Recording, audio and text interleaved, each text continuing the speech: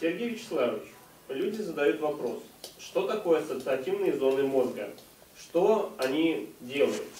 А, и правда ли, что по современным представлениям а, это понятие слишком расплывчатое и их не существует? Если же это неправда, где они располагаются анатомически в мозге? Значит, дело в том, что эти действительно области могут отсутствовать у тех, кто делает такие заявления. То есть те, кто сомневается в собственных интеллектуальных возможностях, они вынуждены объяснять как собственную некомпетентность. Вот они и отрицают очевидные вещи. Дело в том, что если говорить о лобных областях, то они, как ни странно, как это ни странно, э, выявляются-то в том числе не обязательно с помощью компьютерной томографии и других современных способов, а они выявляются в результате Э, изучения последствий травматизации. Сначала расскажу, э, где они располагаются вообще, а потом поясню довольно подробно, э, в чем дело, в чем такие разночтения, откуда они берутся. Начну для начала, где они располагаются. Они располагаются в лобной доле и на границе задней, заднего края теменной, височный и кусочка затылочный. То есть вот у нас на самом деле две ассоциативных области. Вот я сейчас возьму фломастер, и мы с вами посмотрим, где эти области располагаются. Для этого я нарисую картинку на доске. Так. Для того, чтобы э, понять, где располагаются ассоциативные зоны, для этих целей мне надо сделать несколько картинок. Не просто тыкать пальцем в книжку, а нарисовать их на доске, чтобы было понятнее.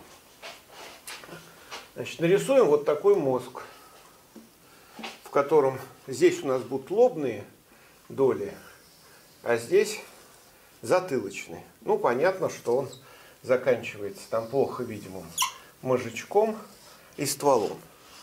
Значит, вот такая картинка. Что, как разделяется мозг в самом общем виде?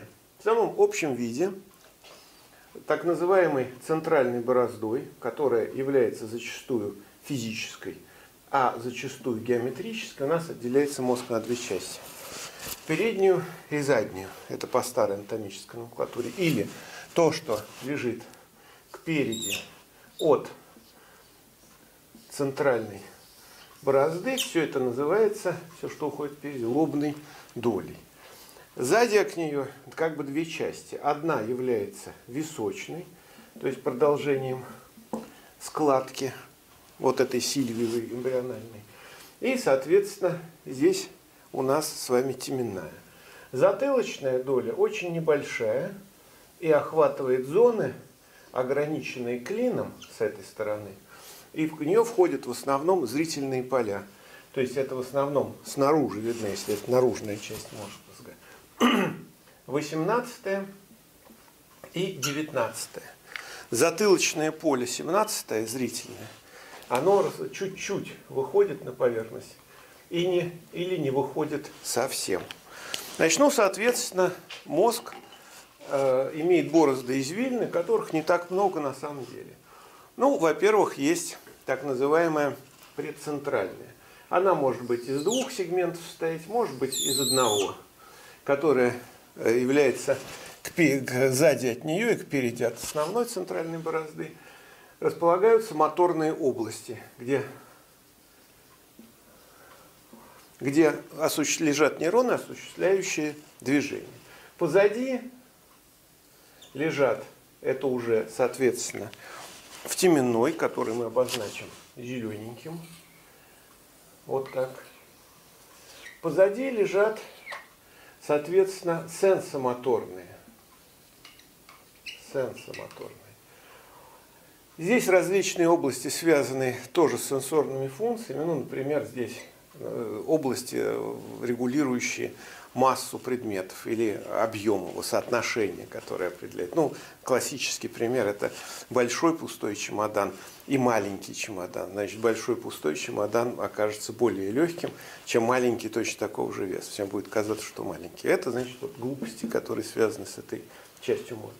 Нас интересуют ассоциативные области. Ассоциативные области у нас лежат в нескольких местах. Здесь у нас соответственно, три основных борозды, потом в зоне речевой еще разветвленная группа борозд и три, соответственно, борозды у нас э, в височной области. Здесь несколько тоже бороздок специфических, о которых можно говорить отдельно. Нас интересуют э, ассоциативные области. Я их помечу красным карандашом. И они у человека в реальности занимают очень небольшое пространство. Вот примерно здесь. Потому что, когда говорят о зоне брака, то есть той области, которая лежит непосредственно, примыкает к ассоциативным, то есть примерно вот здесь, поля ответственные за речь, значит, на самом деле здесь два поля, которые, собственно говоря, являются моторными. Они управляют моторикой, то есть глоткой и гортанью. Никакого отношения к ассоциативным центрам они не имеют. Как, впрочем, и поле вверх. Надо сказать, что скрыто за складкой височной области здесь располагается еще островок. Это еще одна внутренняя доля, в которой находятся основные центры обработки слуховых сигналов, которые приходят в головной мозг и ствола. Где же еще лежат ассоциативные области? Ассоциативные области еще лежат вот здесь. Примерно вот такая зона, я ее условно нарисую таким пентагоном, которая, собственно говоря, интегрирует несколько очень важных функций. За счет межкорковых связи сюда приходят сигналы непосредственно из слуховой области, из области памяти, а здесь вкусовая область, которая трансформировалась в эволюции в памяти, и зрительная, а также уже интегрированные, обработанные сенсомоторные сигналы с полей, управляющих оценкой двигательно-моторной координации, массой тела и всем остальным. Плюс есть межкорковые дальние связи в том числе и соединяющие лобные области, непосредственно зрительными. Мы существа зрительные, по этой причине есть большие межкорковые связи, которые у меня в книжках по анатомии, в том числе и анатомии мозга человека, подробно показаны. То есть, которые связывают эти две ассоциативные области. То есть у нас две ассоциативные области. Для чего они нужны? В двух словах. Эта ассоциативная область, это как раз особенности поведения индивидуального характера, это та область, которая определяет нашу индивидуальность. Именно вот в этой зоне, вот это, в этой области располагаются те самые поля, которые предопределяют особенности нашего характера. И повреждение их, если не дай бог это происходит, как раз и меняет характер. То есть это непосредственно наша индивидуальность поведения. И здесь эта область подключается, очень маленькая по сравнению со всей лобной долей подключается только тогда, когда человек попадает действительно в критическую ситуацию. И тогда особенности характера сочетаются с информацией от всего мозга, и он принимает какие-то решения. Это область для повседневного мышления. То есть, иначе говоря, мы принимаем решение, какую взять сумку, какую взять портфель, какую взять, какой взять кошелек, сколько денег туда положить. В основном используя вот эту область. Она не столь Э, скажем, творческая, но она не менее важная для повседневной жизни. Многие люди никогда лобной областью-то не пользуются. Зачем? Когда для того, чтобы сделать покупки, вытереть сопли, нос, сменить подгузник, в общем, достаточно вот этой области, которая интегрирует основные функциональные центры. У нас поэтому два ассоциативных центра основных для повседневной жизни и для сложных ситуаций, которые мы используем, соответственно, ну, не всегда адекватно. Я изобразил, где они располагаются. Теперь возникает вопрос, откуда возникла эта странная идея о том, что э, области лобные, они, мол, размыты. Ну, как всегда, э, безграмотность, она процветает в научном мире, особенно незнание исследовательских работ, которые проводились в нашей стране. Я имею в виду индивидуальную изменчивость головного мозга.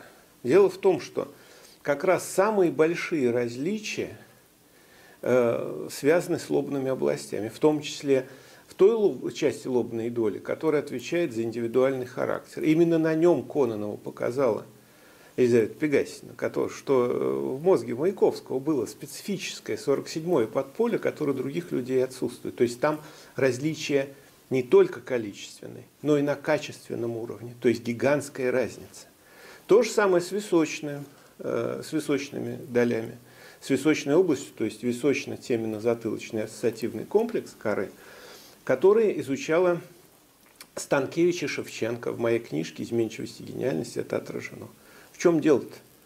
Сравнив табличка там специальная приведена, в которой показано, у кого какие подполя в этой области есть индивидуально, а у кого нет.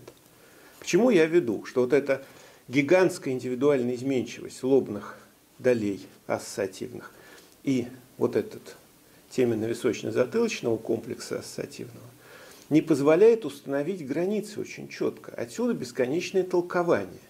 А оно там расплывчатое. Но когда речь идет о случаях патологического повреждения этой области или в результате инсульта, инфаркта, еще какого-то травмы, особенно военных эпохи, военной эпохи, когда делали гистологические срезы и определяли границы полей, не просто так на глаз с помощью, в лучшем случае, бинокулярной лупы, а с помощью цитархитектоники, то выяснилось, что изменение возможностей человека ассоциативных, оно в основном связано именно с этими полями. И, не, и здесь существует четкий, совершенно однозначный локализационизм. Другое дело, что а эти поля очень изменчивы, а с помощью убогих томографов с разрешением 150 микрон, ни с какими рентгеноконтрастными веществами, метаболитами – эти области не определить не из-за того, что они нечеткую границу имеют, а из-за того, что они индивидуально изменчивы. В этом основная причина проблемы. И, собственно говоря, вся история э, с размывкой этого относится еще к 30-м годам 20 века, когда американцы, работая с такой обезьянкой, которая называется алитос, которая, собственно говоря, имела очень большую индивидуальную изменчивость как раз неокортекса подошли к вплотную к пониманию индивидуальной изменчивости человека. Но эти балбесы, вместо того, чтобы увидеть за найденной ими индивидуальной изменчивостью неокортекса этих приматов разницу в поведении и разницу к обучению, которым было прекрасно известно, эти балбесы додумались только до того, что поля нестабильны. Но это было выгодно, поскольку они были врачами и э, кормились с того, что объясняли страховым фирмам, что человек, у которого там выжил случайно, а ему снесли полмозга, он еще может быть вылечен. Достаточно только вложить деньги в их медицинские учреждения.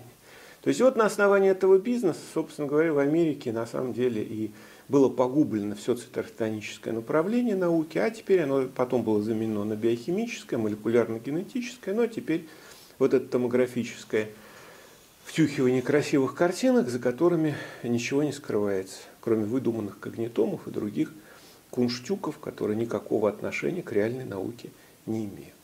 Поэтому лобные области, первое, подводя такой итог, во-первых, они есть. Во-вторых, у человека их две в каждом полушарии, то есть всего четыре. Они разные, это было показано в специальных сатертонических исследованиях. С правой и левой стороны они различаются, они разные. Во-вторых, для повседневной жизни используется э, височный, в основном височно-теменно-затылочный вот этот комплекс. А для сложных индивидуальных решений, особенно творческих, в основном нижняя часть лобной доли. Лобные ассоциативные области малюсенькие, они занимают около 10% всей лобной доли. Поэтому говорить о том, что вся лобная доля является ассоциативной, нельзя.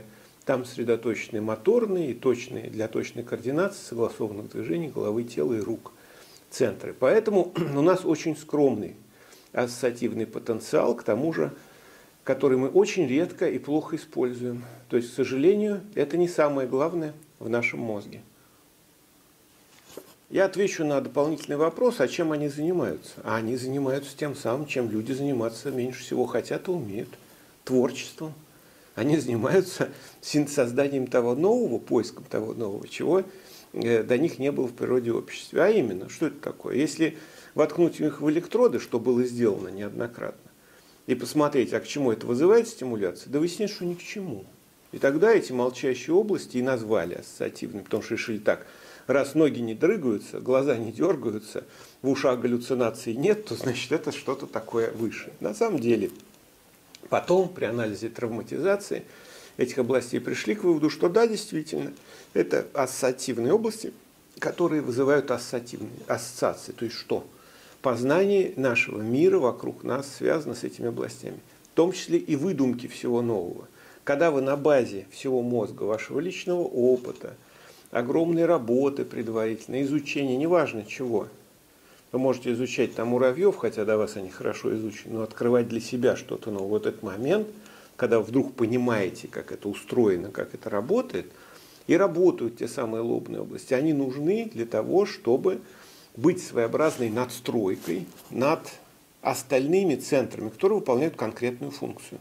Двигательную, сенсомоторную, зрительную, слуховую, обонятельную, осязательную и прочее, прочее.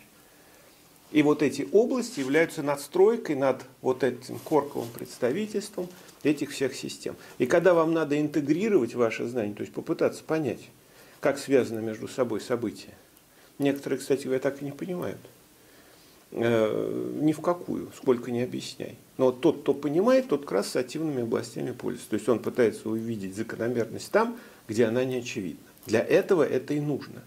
Для решения новых задач, которые в биологии, в поведении до тебя не возникали, или возникали очень редко, или их все тщательно скрывают. Особое тайное знание.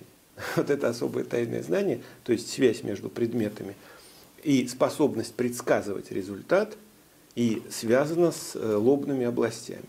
Ну, одни попроще, которые теменно затылочно-височные, для повседневной жизни. Ходить в магазин, там, выбрать не тухлую колбасу, а посвежее, сообразить, что там вот эта колбаса была произведена на Украине, бог знает из чего, а теперь продается как отечественная, а вот это вроде бы действительно реальное.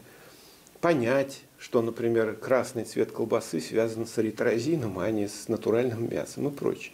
То есть вот для того, чтобы это работало, нужны простые ассоциативные центры, как теменно-височно-затылочные. А сложные задачи, когда вы, не дай бог, занялись решением математических проблем или еще каких-то, которые не требуют простой памяти, как решение кроссворда, тут включаются и лобные. Ну, это уже такой процесс очень затратный.